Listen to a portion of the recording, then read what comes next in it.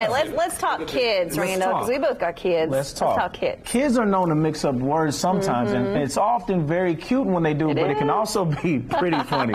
Here's today's Kidding with Kayla report. That's exactly right, Bob and Barb. I've been working Shout on to teaching my three year old son manners for a while now. One of the lessons included saying bless you after someone yeah. sneezes. The other day, my son came up to me and said, Mommy, I need a bless you. And I said, Oh, I'm sorry, I didn't hear you sneeze. Bless you. Suddenly, his calm demeanor bursted into flames. No, Mommy, I I can confirm my son thinks bless yous are tissues, which is actually pretty adorable, and from this point on, I will be addressing them as such. Back to you.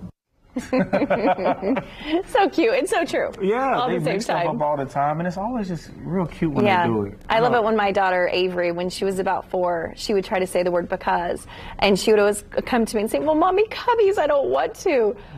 Cubbies was because.